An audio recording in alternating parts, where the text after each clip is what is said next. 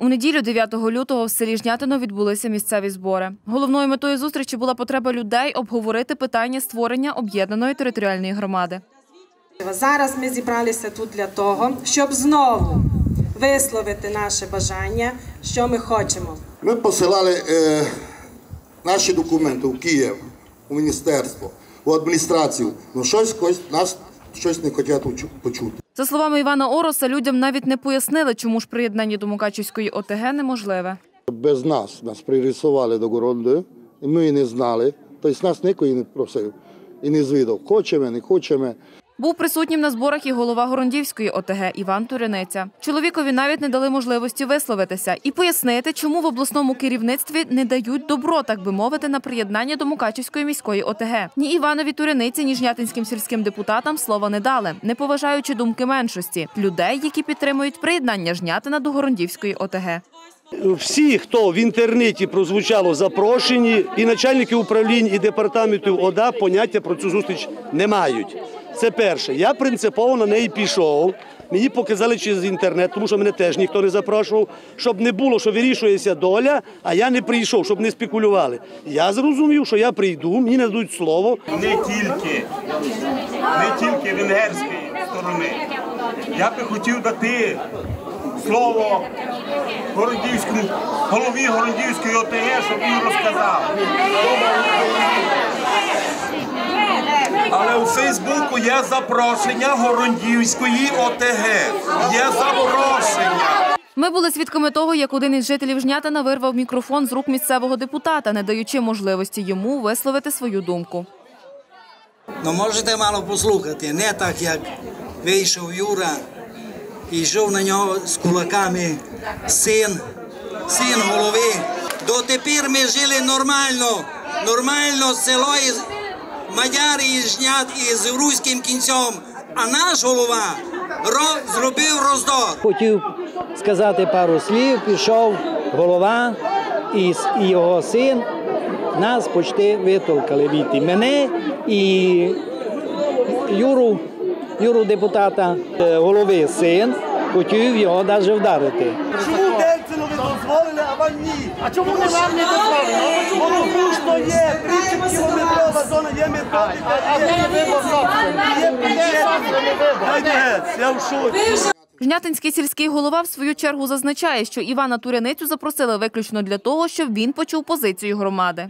Ми запрошували е, ну, просто так, щоб послухав, щоб видів, що наша громада хоче. Опісля зборів ми все ж поспілкувались з головою Горондівської ОТГ. Він висловив свою думку, чому ж уряд не погоджує приєднання Жнятина до Мукачівської об'єднаної територіальної громади.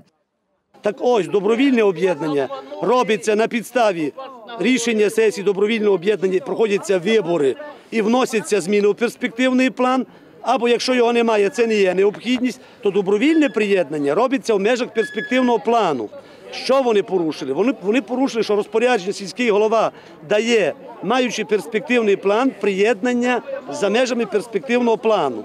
Плюс ми були в Києві дійсно в уряді, де уряд чітко дав поняти і, місту Мукачево, і Горунді, і Жнятину, що є методика, є 20-кілометрова зона, у нас ОТГ 300 метрів, а там 22 кілометри. Ж люди добрі. У нас освітня, освітня, е, освітній процес інтегрований. Шкільний автобус довозить діточок 10-11 клас, а вже й перший, і другий в українську школу. До нас тобто, у нас підписаний договір два роки на про, е, центр надання створення центру надання адміністративних послуг з робочими віддаленими місцями, зокрема в Жнятині, щоб люди не їхали нікуди, отримали витяги на землю, витяги на майно через реєстр тут. Варто зазначити, що Горондівською сільською радою був надісланий лист до виконуючого обов'язки голови Закарпатської ОДА Олексія Гетманенка, в якому коротко описана вся історія об'єднання, що почалася ще у 2016 році. Так в листі зазначають.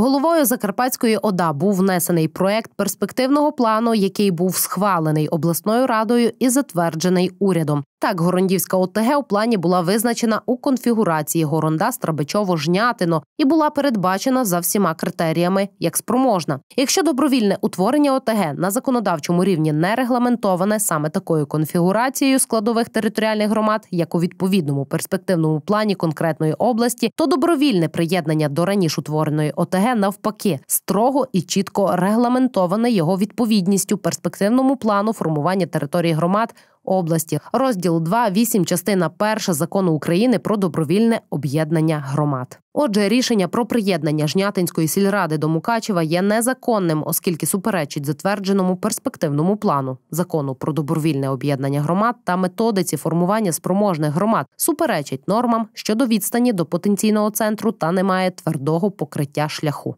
Тож горондівці вважають недоцільним вносити будь-які зміни до перспективного плану по Горондівській ОТГ. Ну а позиції жнятинців розділяються.